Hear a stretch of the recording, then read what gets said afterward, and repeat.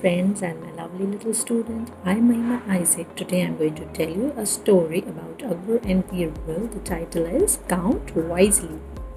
One day, Akbar asked a question in the court that left everyone puzzled.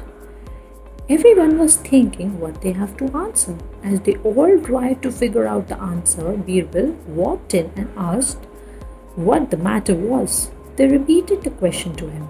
The question was how many crows are there in the city? Birbal immediately smiled and went up to Akbar. He announced the answer. He said there were 21,523 crows in the city. When asked how he knew the answer, the Birbal replied, Ask your men to count the number of crows. If they are more than the relatives of the crow must be visiting them from a nearby cities. If they are fewer, then the crows from our city must be visiting the relatives who lives outside the city. Pleased with the answer, Akbar presented Birbal with a ruby and pearl chain.